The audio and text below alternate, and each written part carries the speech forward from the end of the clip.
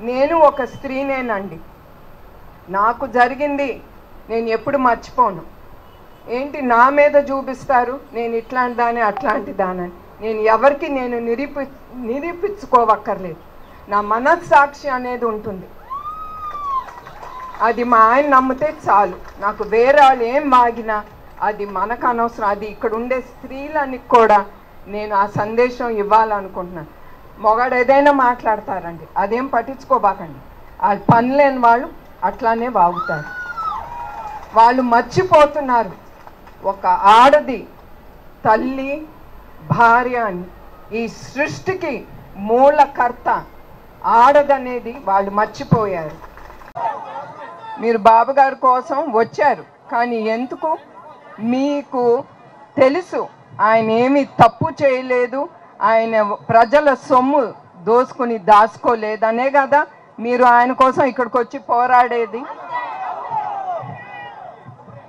So ఇప్పుడు ఇంచుమించు ఇవాటితో పంతొమ్మిది రోజులైంది ఆయన జైల్లో నిర్బంధించి. ఏమనండి ఆయన నిర్బంధించారు? ఆయన ఏం తప్పు చేశారు?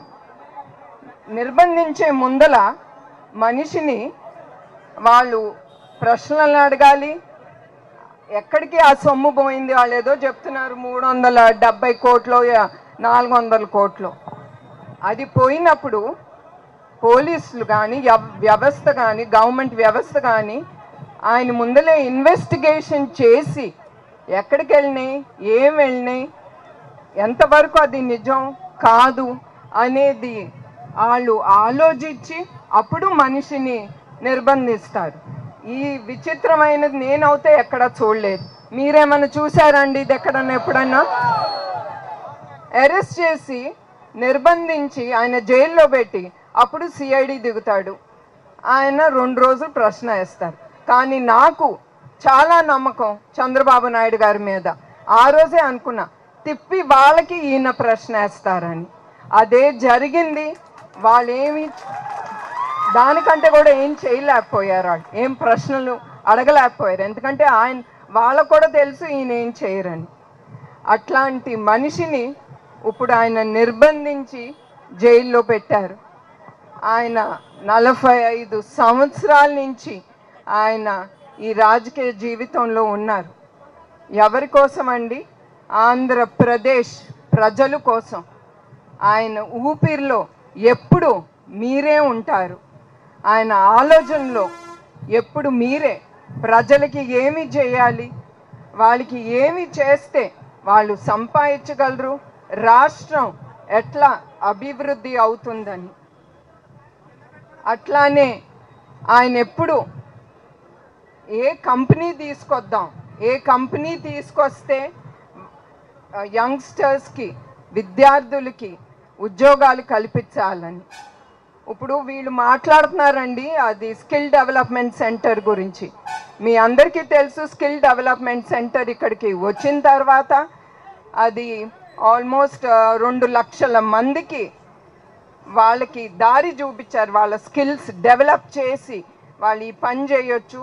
వాళ్ళు ఈ పని చేస్తే వాళ్ళు పైకి వస్తారని అట్లానే వాళ్ళు ఆ ఆ స్కిల్ డెవలప్మెంట్లో వాళ్ళు తీసుకున్న స్కిల్ డెవలప్మెంట్తో వాళ్ళు వేలు లక్షల సంపాదిస్తున్నారు. కొంతమంది అయితే వాళ్ళు కంపెనీలు పెట్టి ఈ స్కిల్ డెవలప్మెంట్ ద్వారా వాళ్ళు సిఇఓగా కూడా ఉన్నారు.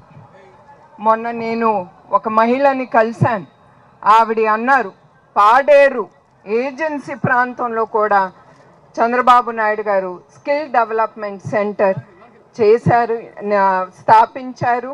దాంట్లో నుంచి వేలాది మందికి స్కిల్స్ డెవలప్మెంట్ చేశారు చేస్తున్నారని కూడా. అట్లాంటి మనిషి మీద ఆ స్కిల్ డెవలప్మెంట్ ద్వారా డబ్బులు వచ్చాయి అంటారు. అది ఎవరి అకౌంట్కి వెళ్ళిందో నా మాకైతే తెలియదు మీ అకౌంట్కి వెళ్ళిందా? మరి నా అకౌంట్కి వచ్చిందా? ఇప్పుడు వరకు కూడా వాళ్ళు ఏమీ చూపించలేకపోతున్నారు. ఆయన నలభై ఐదు ఏళ్ళ రాజకీయ జీవితంలో చాలా గవర్నమెంట్లు చాలా కేసులు ఆయన మీద పెట్టారు.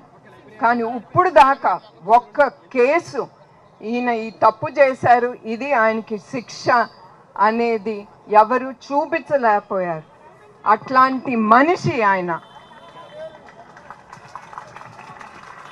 ఆయన ఎప్పుడు ప్రజలు ప్రజలు ప్రజలు. దాని తర్వాతే కుటుంబం. ఆయన ఎక్కడ కూర్చున్నా మేము టేబుల్ మీద కూర్చుని భోంచేసేటప్పుడు కూడా ఆయనకి వేరే ఆలోచన అనేది లేదు.